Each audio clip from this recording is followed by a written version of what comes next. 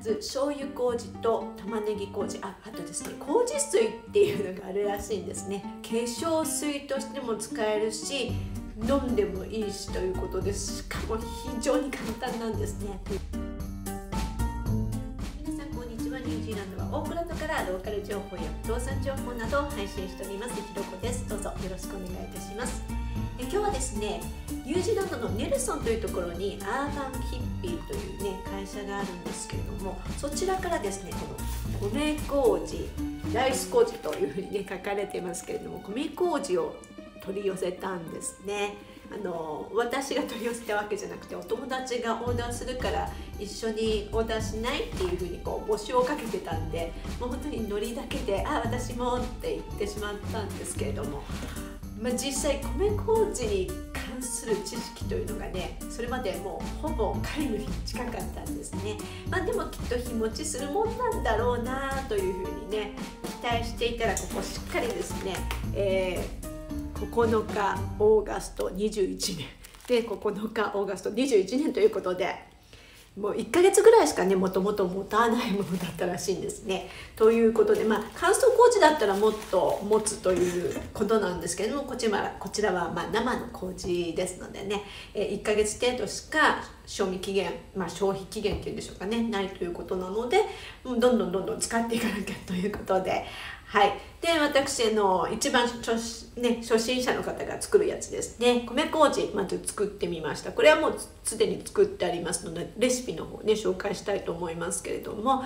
えこれは例えばお米200、えー、米麹ですね。米麹 200g に対してお塩が 80g 程度。えそしてお水が 300ml、まあ、このレシピいろんなところに出てると思いますけれどもお塩の量ね少し変えたりとかあのいう方もいらっしゃるようですけれども大体35%ぐらいお塩が入ってればいいのかなっていうことでございます。でこれあの常温で、まあ、10日ぐらい1週間から10日ぐらいあの置いておいて毎日1日1回スプーンで空気を含ませるようにかき混ぜてあげるそうなんですね。ということで。えー、今日もやっておこうかな。はい。こういう感じでねあの空気を含ませるように1日1回かき回してあげてであのお米の芯がもうなくなってきたような感じになったら出来上がりということでございますけれどもこちらあとはもうちょっとかなと思っております。あの必ず清潔な容器を使ってくださいということなんですがあとその米麹ねこうボウルなんかに開けて手で揉み込んでえそしてお塩を混ぜてまた揉み込んでそこに、えー、必要なお水の量入れて、えー、よく混ぜて、えー、まあ、清潔なね放浪容器ですとかこういった瓶なんかに入れていただくといいようです。これもちろん熱湯消毒してから使っております。はい。ということで今日はあと2つ醤油麹と玉ねぎ麹。ああとですね麹水っていうのがあるらしいんですね。麹水もついでに作っちゃおうかなと思っております。この麹水というのがですね化粧水としても使えるし飲んでもいいしということです。しかも非常に簡単なんですね。ということではい一気に麹を消費したい人必見会でございます。ですね一番簡単と思われる。醤油麹から作っていこうと思います。醤油麹。まずですね、えー、醤油麹の場合には、まあ、結構量は適当でいいのかなという。米麹と醤油麹の量をほぼ同量というですね入れまして。はい。まず米麹を入れました。これを手でこうよく揉み込むということなんですね。もみ込んでいただいてと固まってたりするところがあるのでそれをねパラパラにしてあげます。で、えー、この麹自体すごいなんか肌にいいということで常にこうやってね麹に触れていると手もきれいになっていくというそうなんですけれどもまあ私まだまだ足りないねあのこれからどんどんねまたなくなったら麹取り寄せようかななんて思っておりますけれどもその前にちゃんと使い切れという感じではございますがこれに、まあ、ほぼ同量のお醤油を入れていくということですね。ということで醤油取ってまいりました。はい。このキッコーマンのね、えー、お醤油これはですねどこで作ってるんだろう。これはいいか。このお醤油ですね。はい。入れまして。はい。こういうふうにね入れまして。こんなもんですかね。ちょっと様子を見ながらやっていきたいと思います。もう一回ちょっと手洗ってきました。ということでね、えー、醤油を入れて米麹とね醤油をこうやって揉み込みますこうなんだろう。醤油が余らない程度こんな感じですね。はい。あの醤油がこう垂れてこない感じ。ちょうど米麹と醤油がよく混ざった。ねちょうどよく混ざった感じ。これぐらいでいいと思うんですけれどももうこれで米麹一旦準備完了と言いますか終了と言いますか。あとはですね、えー、醤油麹は揉み込んだ後こういったね瓶に移し替えましてえー、そして、えー、こちらもですね1週間から10日ぐらいねした頃がもう出来上がりとなるそうです。はいできましたらこれを、えー、熱湯消毒したね瓶の方に移していきます。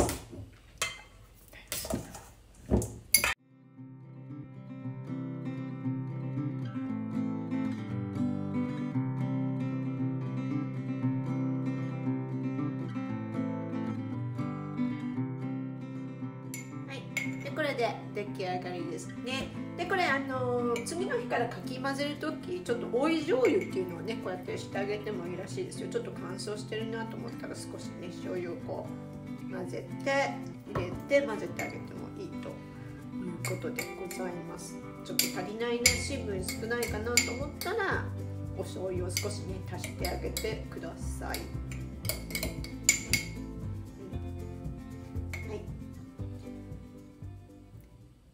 でこれね米麹って直接口に入れても大丈夫みたいですね。食べても大丈夫なんですって。はい、この1週間から10日の間にね発酵が進んでさらにお米の方もね柔らかくなって食べやすくなるということでございます。はい。次はですねまあ一番簡単じゃないかなっていうえー、麹水作っていきたいと思います。麹水はですね、えー、こちらまず麹が 100g 必要になりますね。麹 100g に対してお水が 500ml ちょっと多かったかな、まあ、ちょっとぐらい大丈夫って言ってたから ちょっとぐらい大丈夫だそうです。ちょっと多めにね、えー 114g ございますけれどもこれで作っていきたいと思います。えーですね、お茶パックなんかこれ用意していただきまして、まあ、おだしパックっていうのがもっと大きいのがあるそうなんでそういったものを使った方がもちろんあの小分けにしなくていいんでね楽かとは思います。このお茶パックにとりあえずこの麹全部入れていきます。はい。全部こういうふうに入れていきます。でこれあの最終的にお水につけるんですけれどもで2回ぐらい23回抽出できるということなんですね。で23回抽出はできるんだけれども最後に余ったお米これ食べれます食べてもいいし入浴剤なんかに使ってもいいそうです。こういった容器をね用ご用意いただきましてこの中にどんどん入れてっちゃいます。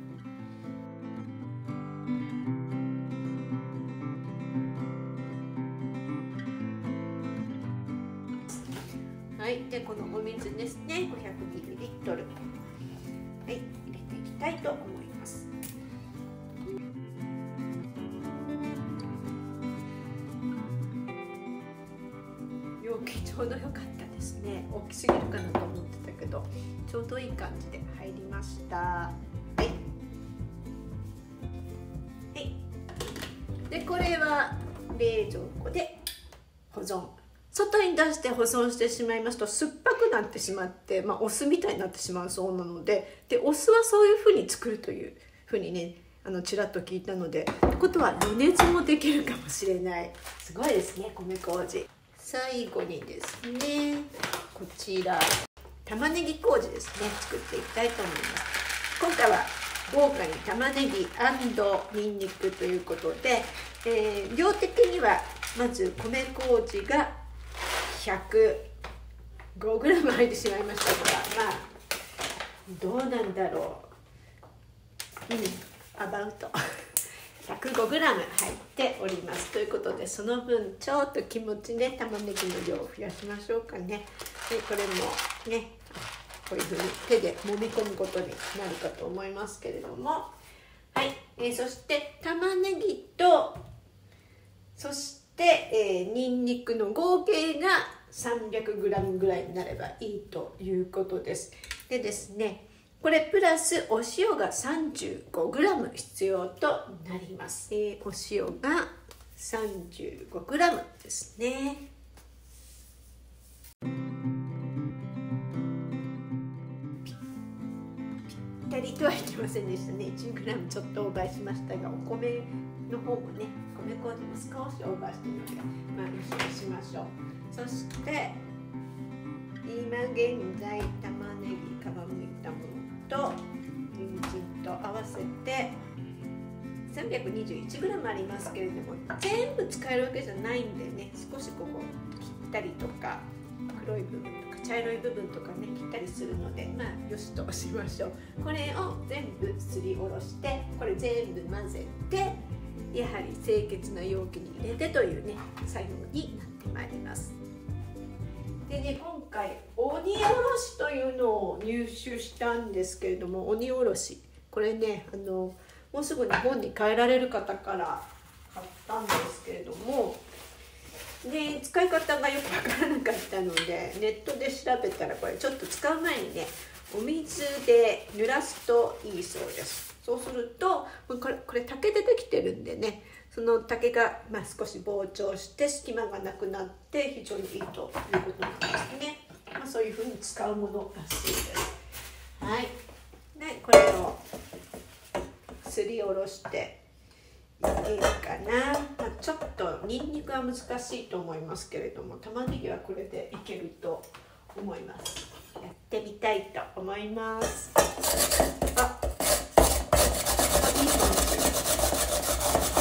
あのあのプラスチックのすりするやつがねあんまり調子よくなかったのでこっちの方がいいかも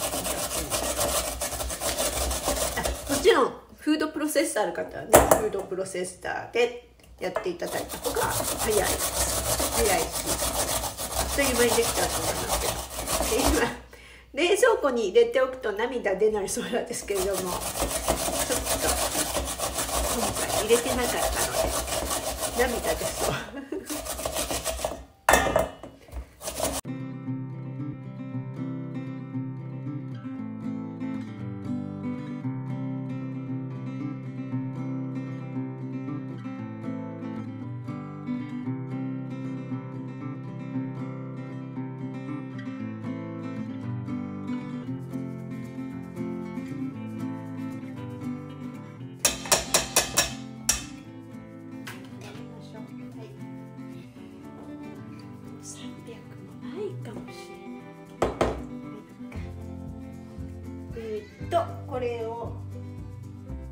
混ぜちゃって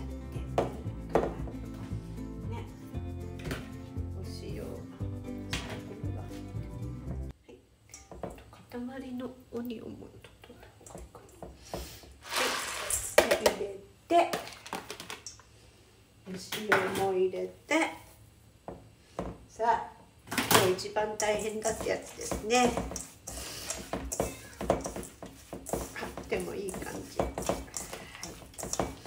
あのお米ごとお米も塩もフードプロセッサーでやってしまっていいようなんですがうちにはないのでそういう人はこうやってね玉ねぎと塩と米麹を合わせて揉み込んでで清潔な容器に移して1日1回空気を含ませるようにスプーンで混ぜてあげてください、えー、そしてこれも1週間から10日ぐらいですね常温で保存してでコンソメのようなねあの匂いがしてくるそうなんですねそうすると。でそうなったらもう出来上がりということであとは冷蔵庫で保存ということになります。はい。でこれ出来上がりましたからまた清潔な保存容器に移してください。ね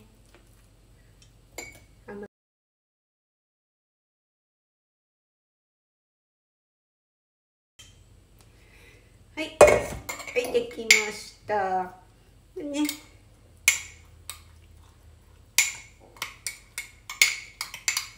空気入っちゃってるかな。ね。はい、ということで、こちらから、えー、玉ねぎとにんにくの麹、えー、そして塩麹と醤油麹。こちらが麹水ですね麹水は8時間後もう飲めます。冷蔵庫で保存してください。冷蔵庫でないと酸っぱくなってしまいます。ということで出来上がりました。まあ、まだこちらは口にはできない状態ではございますけれども一応完成でございます。今日の麹大量消費の会いかがだったでしょうか？はい、えー、ちら我が家の麹も残すところあと 255g となりました。あと 255g となりましたのでこれこの後はもう麹水をね何回か作れば終わるかなという感じになってきました。はい麹水の方はね化粧水としてもそのまま使えるということでまた飲むとね本当に美容液を飲んでるような感じになるんだそうですよ。で最後までご視聴誠にありがとうございました。少しでも参考になった、え、この番組が気に入ったという方いらっしゃればチャンネル登録並びに高評価の方どうぞよろしくお願いいたします。それではまた。